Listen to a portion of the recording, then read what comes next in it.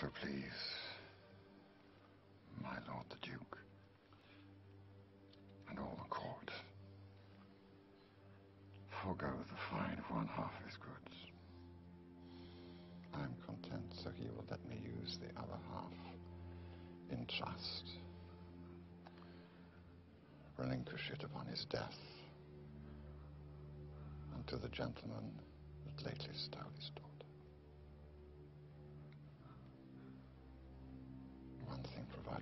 before this paper, you shall presently become a Christian.